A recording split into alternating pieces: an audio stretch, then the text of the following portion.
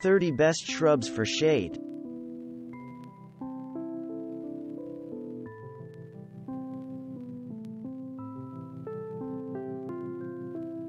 Mountain laurel is a native plant in eastern North America. Its natural habitat is in woodland areas, where it is shaded by trees. This shrub sports glossy evergreen leaves and produces showy clusters of flowers in late spring. Cultivars have been developed just for use in the landscape, including the dwarf minuet laurel, which has more vibrant flowers than those in wild mountain laurels. Where soil is not sufficiently acidic, fertilizing with an acid-enhanced fertilizer, like that used for azaleas and rhododendrons, will help mountain laurel thrive. Among deciduous shrubs, Japanese rose is one of the most shade-tolerant shrubs available and will do better than survive in shade. This bush flowers in spring and may bloom multiple times in partial shade. The bark is Kelly green to greenish yellow throughout the winter. Seriously overgrown shrubs can be revived by cutting them all the way back to the ground in the fall. African scurf pea is a medium-sized shrub, you can also train it into a small tree that produces lilac blue flowers that may remind you of sweet pea. It is nicknamed Kool-Aid bush because the fragrance can be reminiscent of grape Kool-Aid. The foliage, which looks something like rosemary's, has a fine texture. The plant can become straggly unless pruned to maintain an attractive shape. Serviceberry trees and shrubs are members of the Rosaceae family, which includes roses and many flowering, fruiting trees and shrubs. Deciduous serviceberries are found throughout the northern hemisphere. Alder-leaved serviceberry has clusters of flowers in spring and produces edible purple-blue fruit. They offer four-season interest with their beautiful blossoms, home fruits, autumn leaf colors, and bark color in winter. Alder-leaved serviceberry can be prone to rust and powdery mildew fungus. Maintain good air circulation to minimize these problems. Alpine currant is a European native that features bright green foliage. It is often used to create a border or hedge. You will need both male and female plants for this small, dioecious shrub to produce its berries, which are ornamental rather than edible. These shrubs are easy to maintain for shape, as they can be pruned at any time. Aucuba also called spotted laurel, is a rounded evergreen shrub with colorful leaves. If you have both male and female plants it will produce red berries in the fall. Aucuba can grow up to 15 feet tall with glossy elliptical leaves. Tiny spring flowers usually bloom in early spring. These shrubs should be fertilized once a year as new growth appears, using an acid-based fertilizer. Several different species of rhododendron produce beautiful spring blooms in various brilliant shades. They include both evergreen and deciduous varieties and can grow in many different climates. Rhododendrons are often used as foundation plantings but can grow quite large unless regularly pruned. Unless your soil is already heavily acidic, fertilize yearly with an acid-enhanced fertilizer in late winter or early spring. California sweet shrub is a low-maintenance shrub that produces a pleasant fragrance that some say resembles that of red wine. This plant is often used to control erosion along creeks and riverbanks. It's also a good choice for areas frequented by deer, as they avoid it. Pruning is best done by removing old, overgrown stems all the way to ground level, rather than by pruning the tips of branches. Camellia is also known as tea plant because its leaves and twigs can be used to make a fragrant tea. But if you are growing it for ornamental purposes, you will be more interested in its glossy foliage, fragrant fall flowers, easy maintenance, and long life. A slow-growing plant, it needs little if any pruning and only light fertilizing. Canadian bunchberry is a subshrub that you can use as a ground cover for damp, shady areas. Bunchberry is a relative of the dogwood, and produces blossoms that give it nicknames such as creeping dogwood and bunchberry dogwood. Bunchberry is an ideal choice for cold, damp areas where other shrubs may struggle to survive. Mulching with peat moss will help provide the acidity this plant craves. Checkerberry is also known as American wintergreen. Its leaves can produce a minty scent, and its edible, red berries taste like wintergreen gum. A tiny shrub, often just 3 inches tall, it can be used as a ground cover in acidic soil. Prune in winter or early spring, before new growth begins. Chinese fringe flower is an evergreen shrub also known as Chinese witch hazel. Like witch hazel, it has fringe-like flowers that bloom very early in the spring. Chinese fringe flower has a spreading form, and can grow up to 12 feet in height. Its foliage is usually green, though some varieties feature purple leaves. Mulch the soil heavily to keep it moist. As their name suggests, climbing hydrangeas are vines, but they can be trimmed and maintained as if they were shrubs.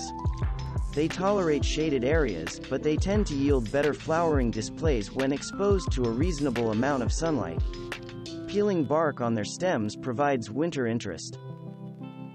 Coast leucothoe produces urn-shaped bunches of small flowers that are similar to those on Pieris japonica, in fact, the two bushes belong to the same family, Ericaceae. This weeping evergreen shrub is native to the U.S. and is often used in place of boxwood for hedges and boundaries. Before planting, dig in a good amount of peat moss to a depth of 18 inches, which will provide acidity and improve moisture retention. Recognize common boxwood as the evergreen shrub often used for hedges and topiaries, a classic plant for formal landscape design. It boasts dense light green leaves and a compact shape. English boxwood shrubs grow to about 3 feet, but their slow growth makes it easy to keep them pruned and looking pristine. Witch hazel is a tall shrub that will add fall color to your garden. It's a very early blooming plant, with fragrant flowers appearing as early as mid-March in most locations. A vase-shaped plant, it grows to tree height if not kept pruned. You can make extracts from the witch hazel shrub to harness the plant's astringent properties, Dwarf fothergilla is a deciduous flowering shrub known for its fluffy flowers in spring and its fall leaf colors. In spring, this shrub is tipped with 1 to 3 inch long flowers that look like bottle brushes and smell a bit like licorice. The leaves are dark green on top, and bluish gray on the bottom. In the colder hardiness zones, this plant may need to be wrapped with burlap in the winter to prevent windburn. You can attract hummingbirds with buckeye, also known as the firecracker plant. It will grow in all textures of soil and can be maintained as a shrub or a tree.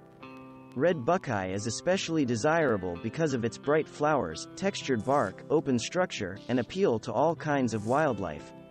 Red buckeye can be grown with multiple or single trunks. The red tip photinia is an evergreen shrub that produces young red leaves, while its older leaves are green. If you prefer red leaves, you can simply trim new growth on a regular basis, and the plant will continue to produce new leaves all year long.